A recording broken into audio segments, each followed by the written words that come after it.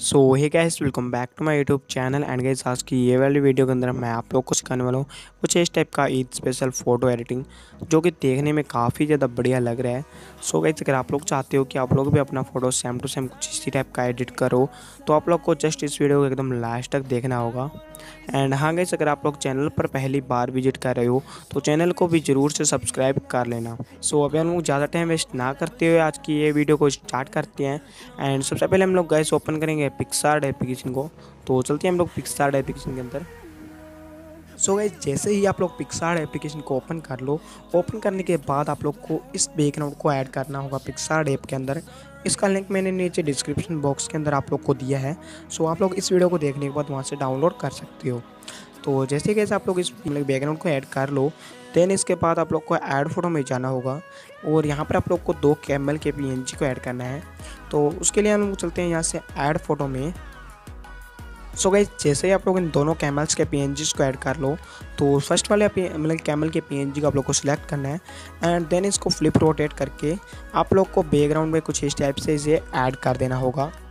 And जैसे आप लोग इसे ऐड कर लो कुछ इसी टाइप से आप लोग को सेकंड वाले जो PNG है, इसको भी आप लोग को इसी टाइप से ऐड कर लेना होगा। तो मैं यहाँ पे इसे भी ऐड कर लेता हूँ। एंड जैसे ही गाइस ये वाला बी एन ऐड हो जाएँ ऐड होने के बाद आप लोग को इसको कर देना होगा यहाँ से राइट टिक देन अभी आप लोग को क्या करना है गाइस कि यहाँ पर आप लोग को फिर से जाना होगा ऐड फ़ोटो में एंड अभी आप लोग को एक और कैमल के PNG को ऐड करना होगा। ओके तो गैस अभी आप लोग को इस कैमल के पी को ऐड करना है एंड इसे आप लोग को बैकग्राउंड पे कुछ स्टेप से ऐड कर देना है। देन अभी आप लोग को यहाँ से इसे सिलेक्ट करके इरेजर वाले ऑप्शन के अंदर चले जाना होगा। तो यहाँ से सिलेक्ट करने के बाद राइट लेफ़्ट साइड में आप लोग को देखने को मिल सकता है ये वाला इरेजर का ऑप्शन देन इरेजर को सिलेक्ट करना है एंड जो इसकी हार्डनेस हो, इसको आप लोग को फुल्ली कम करना है। ओपासिटी को फिफ्टी परसेंट तक रखना है और साइज़ आप लोग अपने अकॉर्डिंग रख लेना। तो यहाँ से हम लोग को क्या करना है कि अपने पैरों के पास जो कैमल है, उसके पैरों के पास से जस्ट कुछ स्टेप से इसे इरेज कर देना होगा। तो जैसे ही कैसे आप लोग इरेज कर लो इरेज होने पर आप लोग को इसको कर देना होगा डन जी गाइस दो जैसे ही आप लोग डन हो जाए देन अभी हम लोगों को ड्रो टूल में जाना होगा और ड्रो टूल में जा कर के हम लोग अपने मॉडल को ऐड करने वाले हैं। तो जैसे ही गैस आप लोग ड्रो टूल में आ जाओ तो ड्रो टूल में आने के बाद अभी आप लोग को लेयर के पैनल पर क्लिक करना है।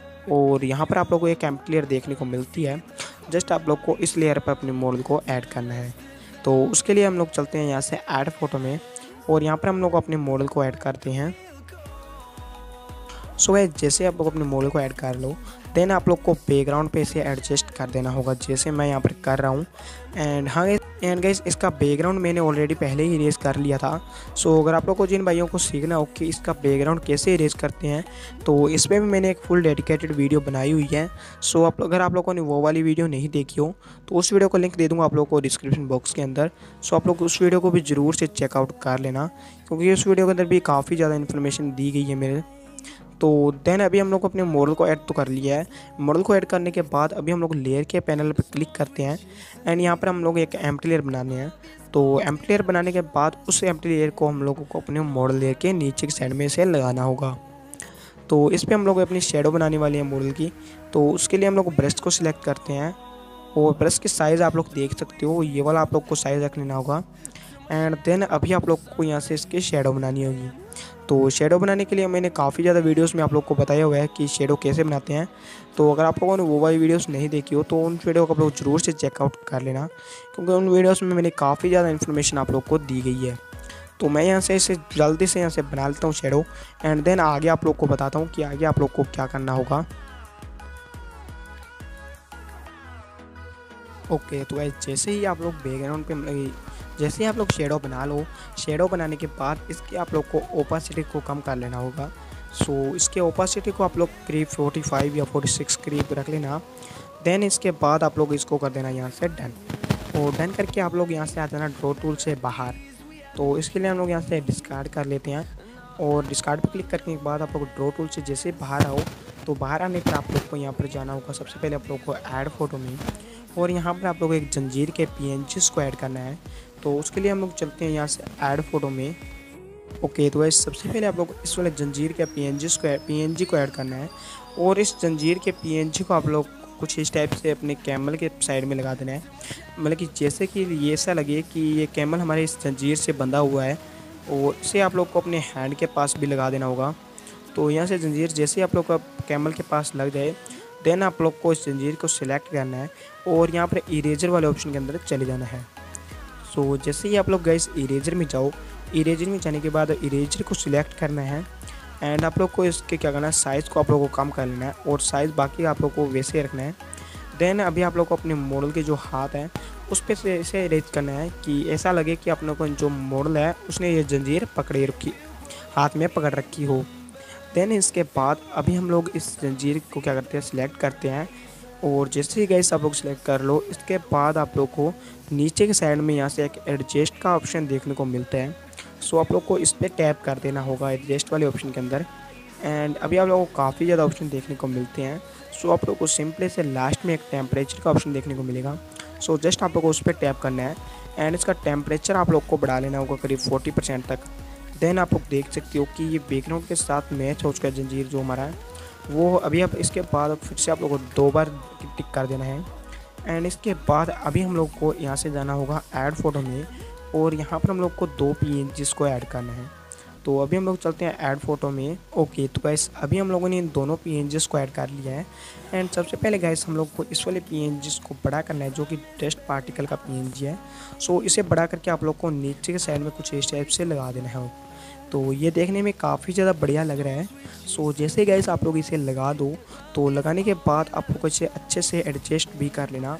सो इसके बाद आप लोग को ये वाला टेक्स्ट पी जो है ईद उल का, इसे आप लोग को यहाँ पर लगा देना, नीचे की साइड में। तो जस्ट आप लोग को कुछ स्टेप से लगा देना है, और लगाने के बाद आप लोग इसकी ओपासिटी को कम कर लेना, करीब फिफ्टी परसेंट तक।